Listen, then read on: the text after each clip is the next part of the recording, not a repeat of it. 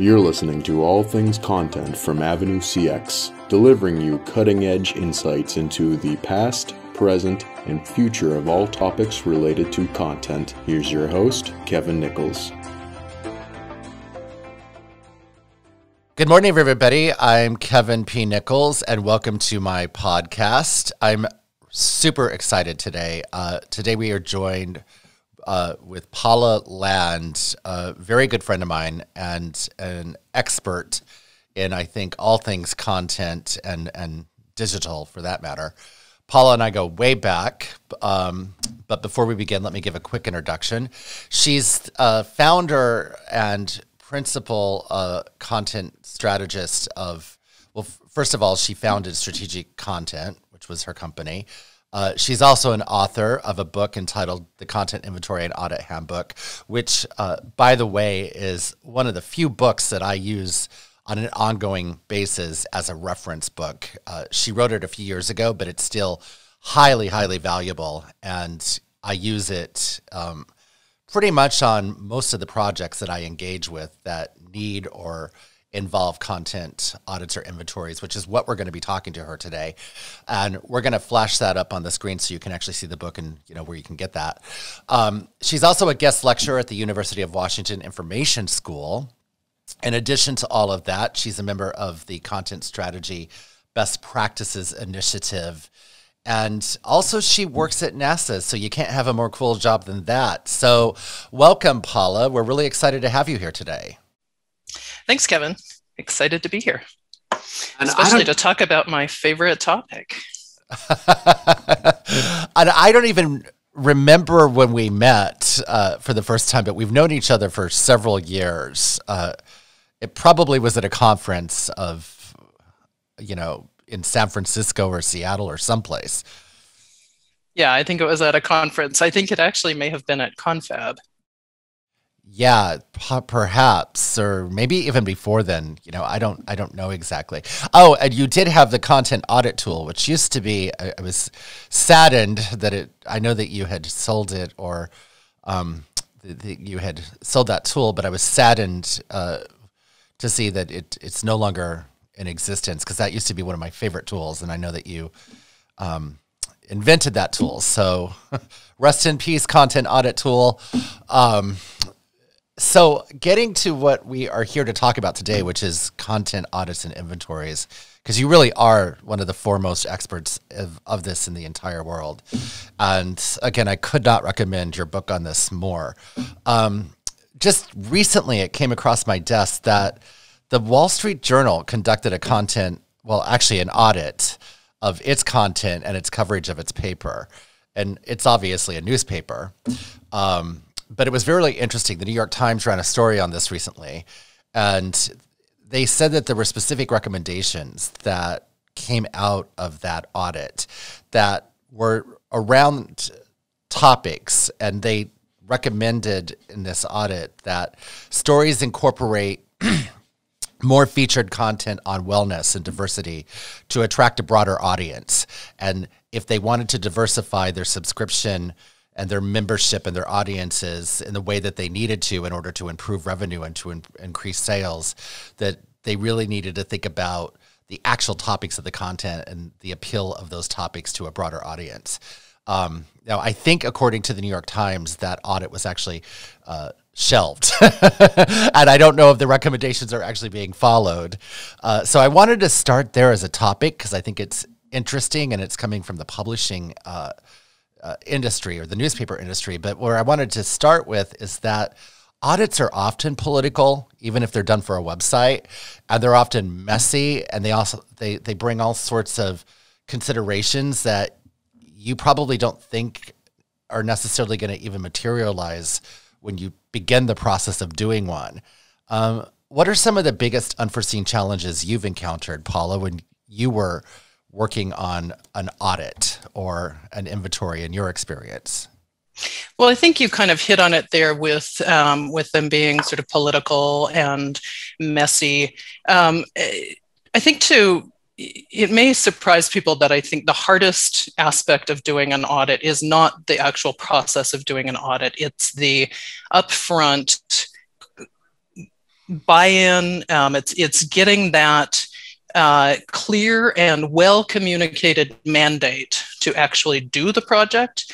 Um, and I say well communicated because what can happen is that if everyone who is either going to participate in the audit audit or uh, have some of their they are stakeholders and some of their content is going to be part of the audit if they are not on board then you can end up with something like it sounds like like the Wall Street Journal did, right? Which is you can go through a whole process of doing this work, um, but if you don't have that buy-in, if you don't have a sort of corresponding commitment to actually using the results of the audit, then your audit may just end up on a shelf. And in the meantime, you may have actually damaged or you know had some had some difficult or or messy uh, situations or conversations with with your stakeholders.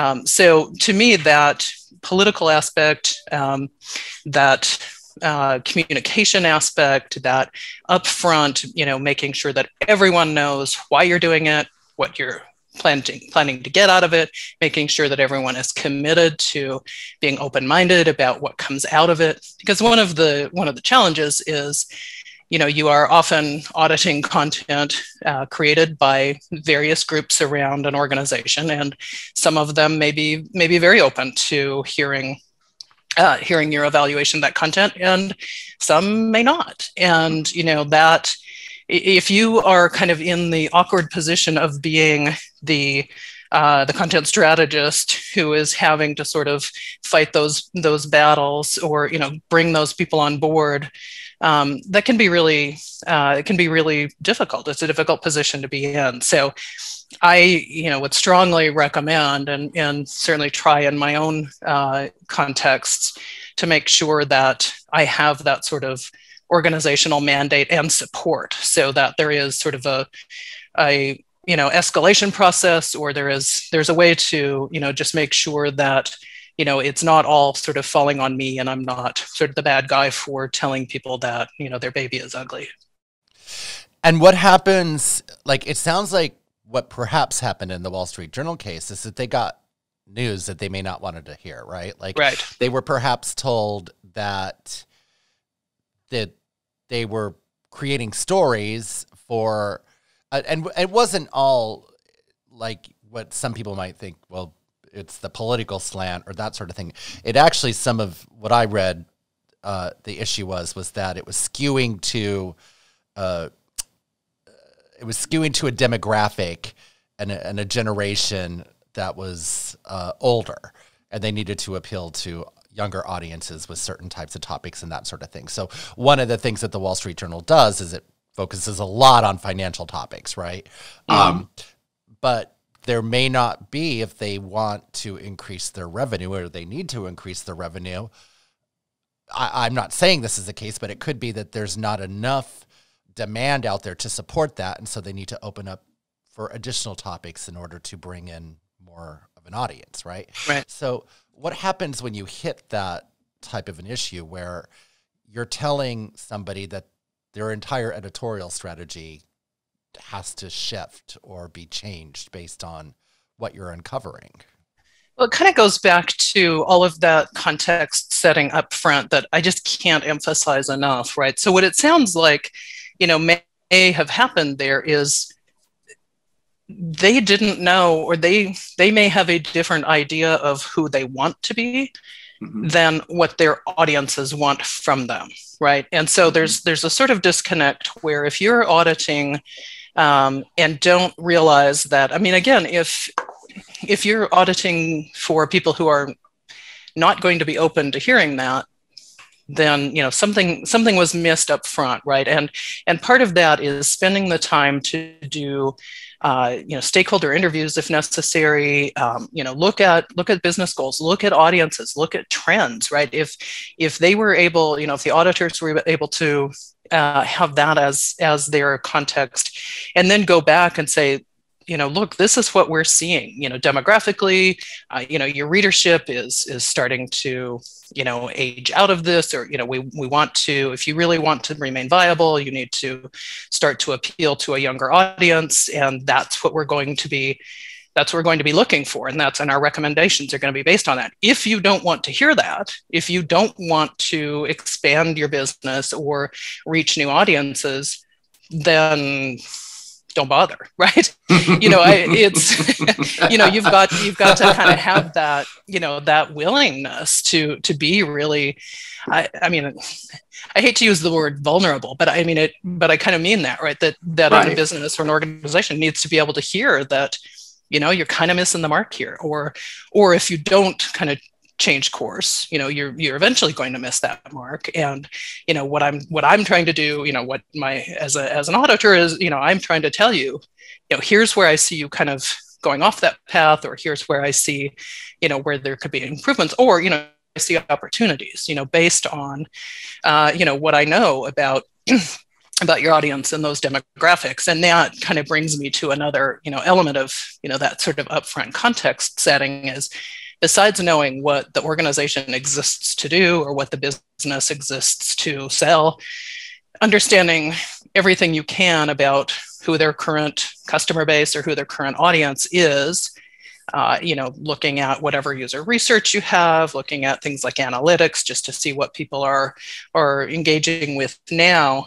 But then you also have to think about, you know, is that your ideal audience, or do you want to do you want to expand that audience? Do you want to prioritize one audience over another? I mean, most most businesses, most publications have multiple audiences, and they may have some that are higher priority than others. And so if for the Wall Street Journal, their highest priority audience are the people interested in financial news, then that's that gives you a certain you know that gives you a certain lens through which to audit the content but if they say you know that's that's a priority audience but we also want to you know reach more of say a lifestyle audience um, then you know what does that mean in terms of how you scope the audit what you look at what criteria you set and so on yeah i think you know, one thing, I mean, there's a lot to unpack there. I think one thing that your book and that you've really taught me, you know, over the years is that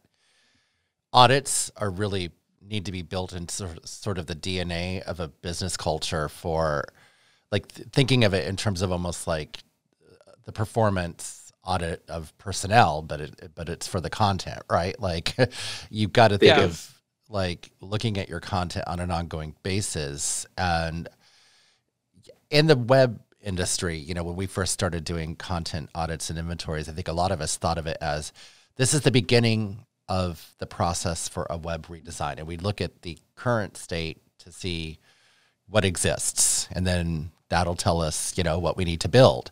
And that's not at all really how you approach an audit. Like you're approaching it much more from the standpoint of the business strategy and auditing content against the business strategy and the consumer needs and figuring out where the content can evolve and what is successful within that content experience. And that I think is fundamentally what you've taught me and what your book, for example, taught me about harnessing the power of content audits.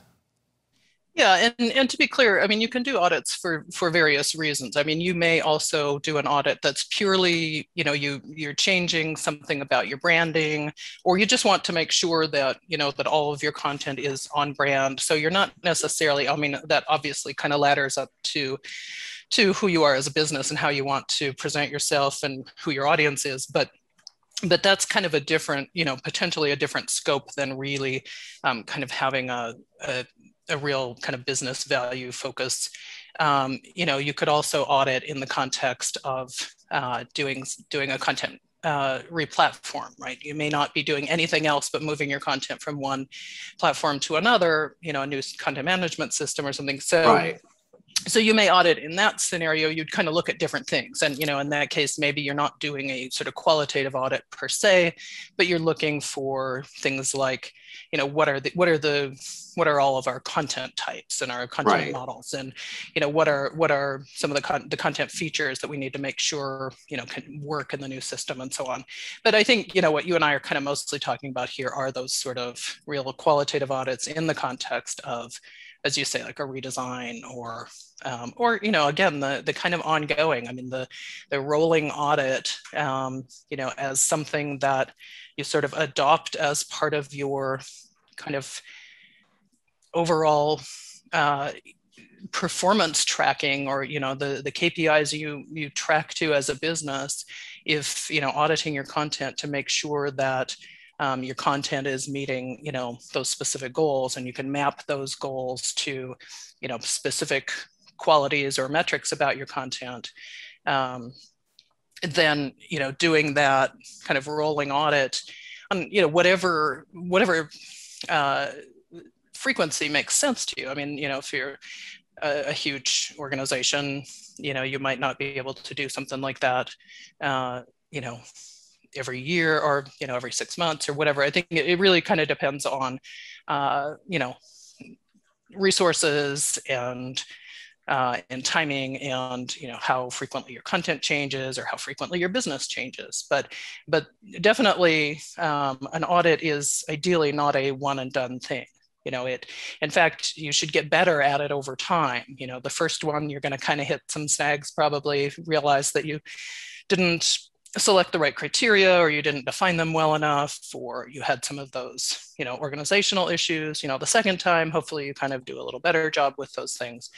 But if you get it you know installed as a regular practice within your organization and it just becomes something that everyone understands will happen on some on some schedule um, you know it just not only obviously does it make sure that you are regularly kind of weeding out your content, you know, making sure it's it's uh, doing its job, but you're also kind of establishing a quality kind of mindset in your organization. Um, and if everyone is aware that you know you can't just sort of throw this stuff up there on the website and it's never going to get looked at again or no one's ever going to question whether it's you know whether it's still relevant or it's still accurate um, you know that that kind of seeps its way into your overall just kind of governance and and um, site maintenance. Yeah and your ongoing content planning and editorial you know strategy. I yeah, think absolutely. I'm sorry go ahead. I think one thing um, that is also I mean, one question I wanted to ask you is do you think that content ecosystems and companies can be healthy and successful without ongoing audits? Well, you know, obviously I'm a little bit biased here, but but I kind of think but I tend to think no, right? Because, you know, just what we're saying here, you know, that uh, you know, if you are not, you know, if you're kind of just literally never reviewing your content, you know, you're in danger of ending up with you know outdated inaccurate off-brand content content that isn't supporting your users needs you know and eventually that kind of comes home to roost you know and it's going to hurt your business. Right. Um, you know without without those learnings you know as you mentioned too that you know there there is the audit to find things to fix but there is also the audit to find gaps mm-hmm. and to find opportunities right so it's it's not just you know here all the things that are wrong with our site it's like you know here's an area we could build on. You know here is content that's that's really good and is doing really well. Um, our users are engaging with it and it really is supporting a business need. It's driving people to a purchase or you know whatever your conversion goals are. So then you know that's that's an area to kind of reinvest in or invest more in you know and it kind of lets you you know no organization has unlimited resources for managing and creating their content. So you want to make sure that the content that you are creating and managing is the highest value it can be. And so if you're not ever auditing it, you know, you're missing that opportunity as well. And then, you know, this kind of goes along too with sort of the benefits of the audit, you know, as I mentioned before, kind of building in that culture of you know culture of quality a culture of sort of accountability for content um, mm-hmm. an, an output of an audit can and should also be some learnings that get fed into you know your content planning you know like we just said but also updates to your style guides or you know your governance policies or revisit workflows. You know what what caused that content to not be quite as good as it could have been to begin with? You know how can you make mm-hmm. sure that doesn't happen going forward? Because again limited resources you want to make sure you're you're actually applying those resources as effectively as possible. So if you come out of an audit without any learnings, I would be very surprised. You know, I mean, any organization is going to come out of that going, okay, well, if, you know, this 20% of our content isn't really, we can't really map this to any business goal. We can't map it to a step in a customer journey. We can't, you know, show that it's helping users complete a task. Then why are we managing it, right? You know, may not even be bad content per se, but you know that gives you, you know, gives you a direction. You know, when you start to identify those patterns. And so, in terms of thinking through the audit, right? Like, because just unpacking that a little bit, um, and there's a lot to think through um, how do you do it? Like, how do you? And I know you wrote a whole book on it, and I know that this is more than just a thirty-minute conversation, but there's a lot of organizations out there that aren't doing this, and you know. We know that if you really want a healthy content ecosystem, if you want a performance driven one, if you want one that's standing your content up for continued success to stand it up so that content is an actual asset that can be quantified and measured and all that within your organization, you're going to have to audit that content and, you know, put mechanisms in place to evaluate its performance. But if you're not doing that, what would be your advice uh, for some key ingredients to to start thinking through how to how to put that into place? Well, it kind of again just goes back to you know, maybe even higher than than the you know what are our goals. It's sort of what does what does our content what role does our content, whether it's our website or whatever else, but you know, tend to kind of focus on websites here, but what role does that play in our business, mm-hmm. you know, and meeting our business goals? Mm-hmm. And, you know, where Uh, what are those goals? What are those objectives? Again kind of what's what's the user you know who are our audiences? What do they need? And and so you know again i i kind of keep coming back to this point but understanding that stuff up front you know having that context you know what's what's triggering this? You know are we deciding to audit because we're seeing that you know our our sales are down or uh, you know, our donations are down or our analytics are showing that, you know, our traffic's dropping off or, you know, whatever it might be. Um, or you just have a sense, you know, things feel outdated. We haven't updated this content in a while, you know, whatever triggers that, you know, being really clear about that up front, because that's going to help you scope it and that's going to help you set your goals and help you set your criteria. So once you've kind of immersed yourself a bit in that, you know, like why are we doing this? You know, what are the opportunities here? And this might be a way to kind of get that organizational buy-in, which is to to be able to say, you know, look, here is this, you know, here is this current state, and here are some uh, here are some issues that, you know, or here's some areas we want to kind of focus on or address let's kind of baseline this and then we'll be able to show you know how we can improve this and that that gets to something a little further down the line but that is sort of you know how do you act on it and how do you measure sort of the success of having done all this? But in, in any case kind of back to you know set the context understand everything you can about the business about what it's trying to do or the organization.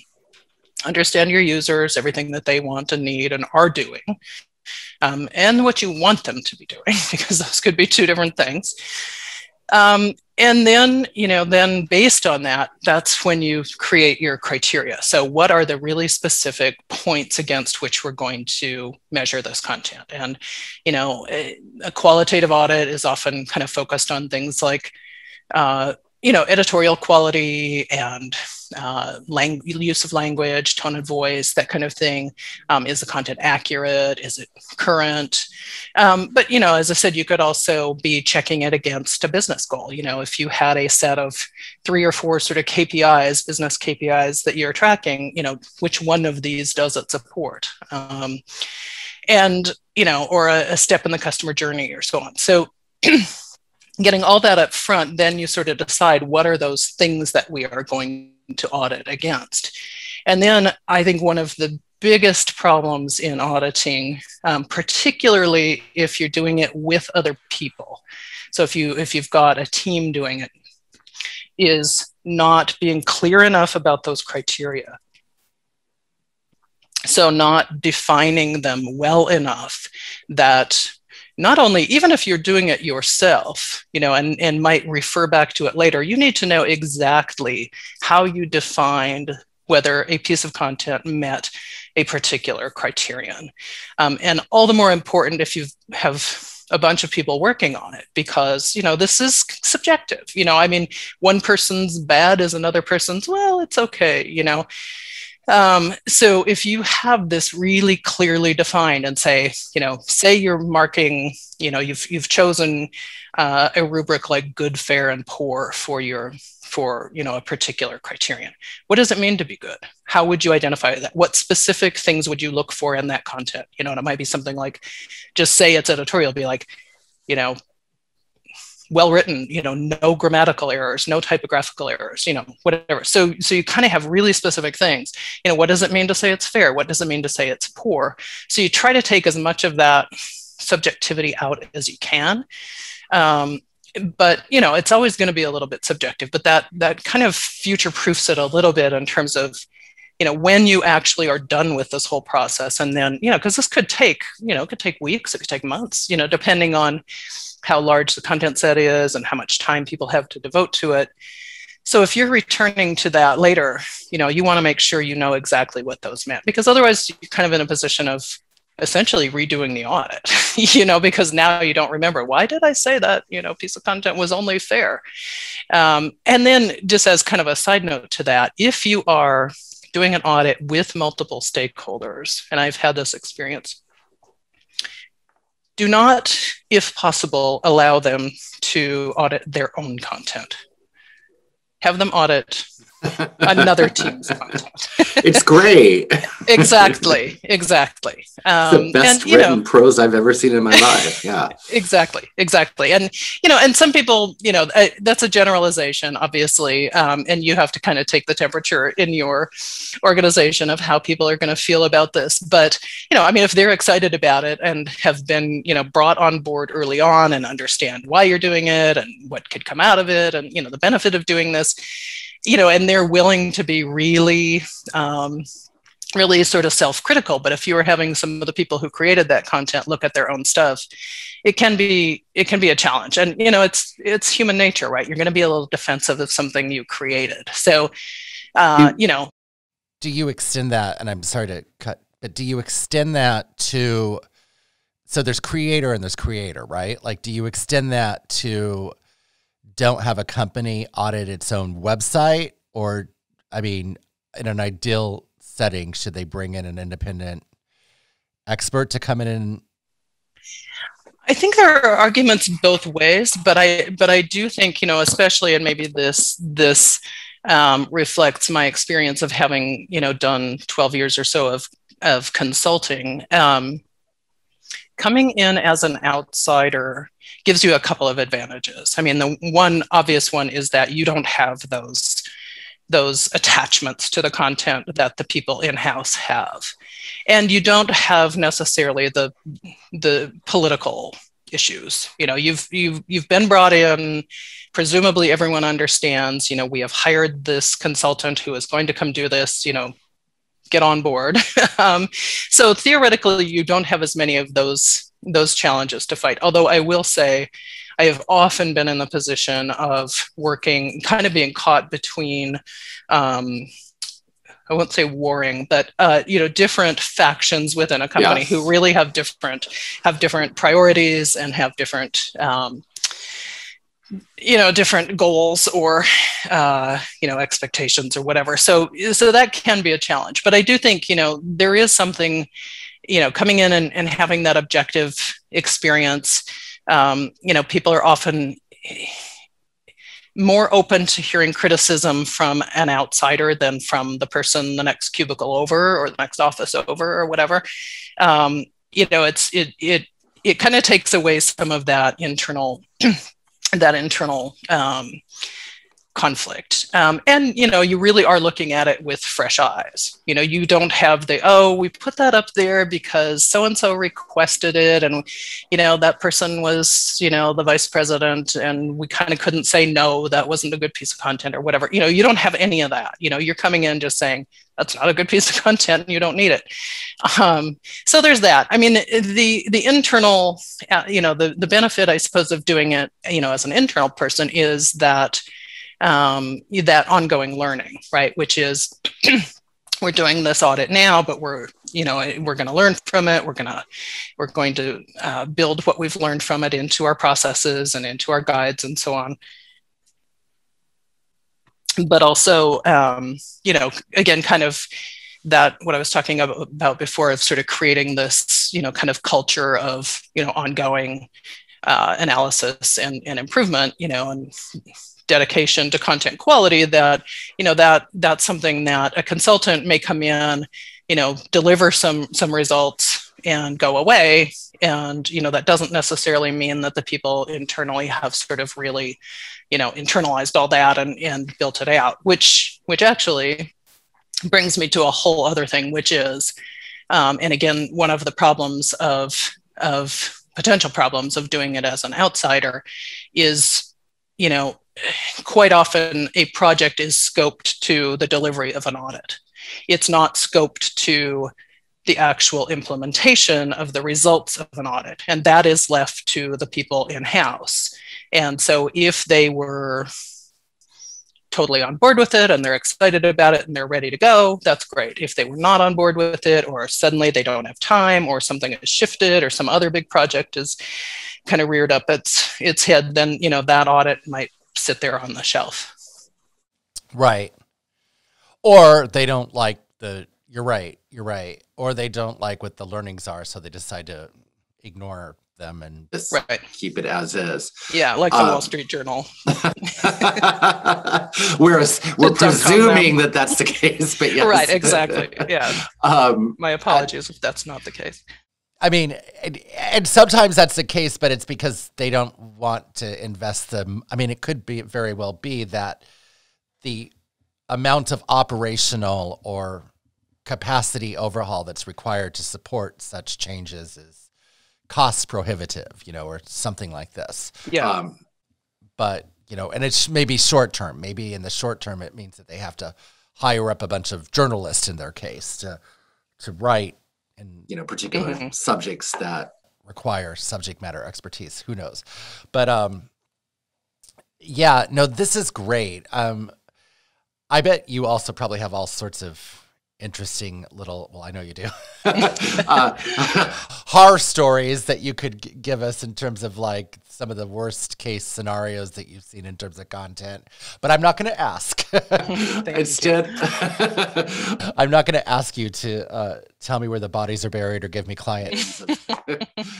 Um, but what i would love is just any um, any kind of guidance of things that you know, if you could go back and do things like differently, what are some of the best practices that you've learned over the years, sort of the hard way? Like, what are some lessons learned that you would, you know, take moving forward and say, okay, here's things that I've learned and, you know, you can use to sort of inform your uh, approaching this um, and doing this. Um, yeah, I'm, I'm, i guess it'll be a little bit of a broken record here, but I think um, I think the biggest learning is you know preparation and and really having a plan for it. I mean, it's not, it should not be just sort of you know this task that happens over to the side. I mean, it really should be kind of positioned within the larger context of you know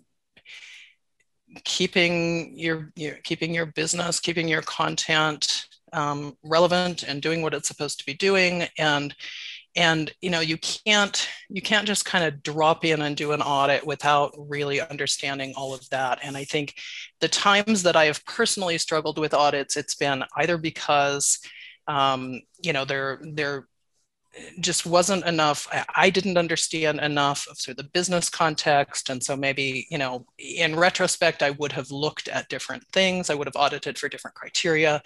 Um, so the more, the more of that upfront, uh, you know, the more of that upfront work you can do just to make sure, you know, because whether you're a consultant or in-house, you know, again, you never have, not only do you not have unlimited time to do these things but you want to you want to take action relatively quickly usually. I mean con, you know sites evolve you know during the time that you're doing an audit there could be you know however many a, a few to a dozen or a hundred new pieces of content whatever posted to that site. And so you dragging it out for too long and having to go back and re-audit or kind of rethink it if you've sort of delivered results that people it wasn't what people expected or wasn't something that people can actually take action on.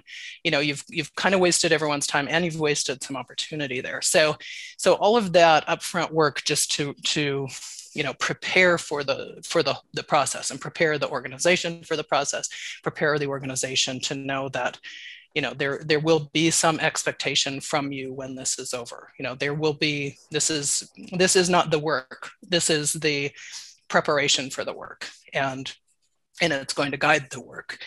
And so without that you know again without that sort of having that really well understood up front you know then you then you're potentially in that position of delivering something that you know doesn't do what it needs to do. And so that really is a bit of my sort of drumbeat.